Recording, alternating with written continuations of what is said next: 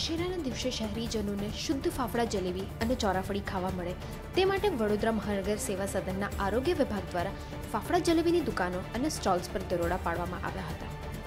જેમાં સિત્તેર કિલો ઉપરાંત ફાફડા જલેબી અને મોટા પ્રમાણમાં ચટણીનો સ્થળ પર જ નાશ કરવામાં આવ્યો હતો. આરોગ્ય વિભાગની ત્રણ ટીમોએ શહેરના જુદા જુદા વિસ્તારો, જેવા કે Khanderao market, Rajmahal road, Ajwa road Panigate Waghodia road Makarpura Nizampura, Sama Fatehganj Harni road, Warasiya સહિત વિવિધ વિસ્તારોમાં ફાફડા જલેબીના સ્ટોલ્સ પર ચેકિંગ હાથ ધર્યું હતું, જેમાં હાનિકારક જણાઈ આવેલ આશરે સિત્તેર કિલો ઉપરાંત અખાદ્ય જથ્થાનો નાશ કર્યો હતો.